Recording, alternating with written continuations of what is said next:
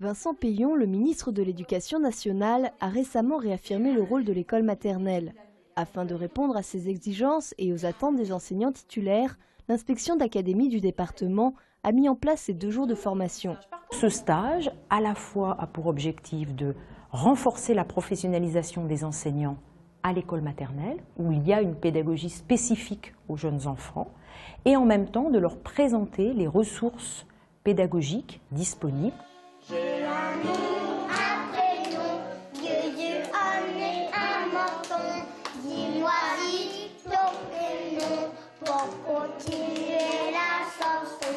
Vincent enseignait depuis 6 ans en primaire quand cette année, il a pris en charge cette classe de petite, moyenne et grande section.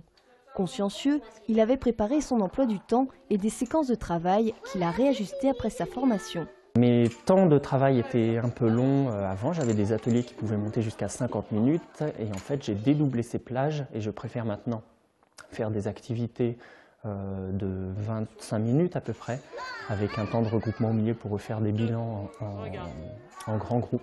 Vincent a également réaménagé la classe en créant des petits coins thématiques. Grâce à cet atelier cuisine, il a par exemple appris aux enfants le nom des fruits et légumes. Prochainement, ces bambins vont découvrir les formes et les couleurs.